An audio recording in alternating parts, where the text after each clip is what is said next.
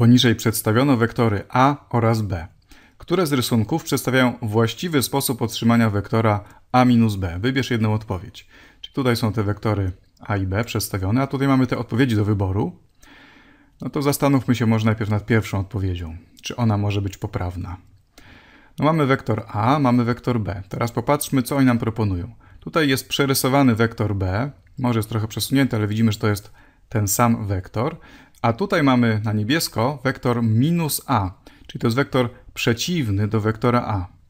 No i teraz tutaj mamy początek tego wektora minus a, następnie mamy jego koniec. Do końca wektora minus a doczepiony jest początek wektora b. Czyli jak przejdziemy taką ścieżkę, no to przesuniemy się z tego punktu do tego. No i oni mówią, że to jest a minus b.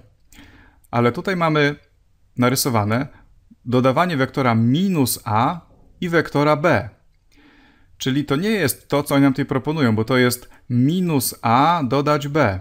Czyli tak naprawdę, gdyby tutaj zmienić wszędzie znaki, na przykład, że to jest minus a dodać b, to by było dobrze. Ale to nie jest a minus b. A tutaj właśnie pytają nas o wektor a minus b. Czyli to na pewno nie jest dobrze. No to popatrzmy teraz na drugi rysunek.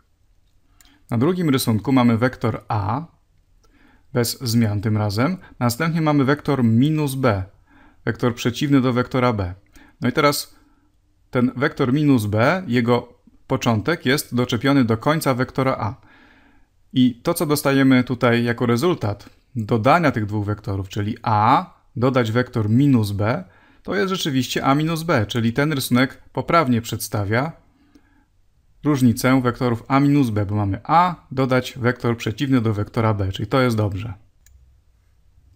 Sprawdźmy. Dobrze.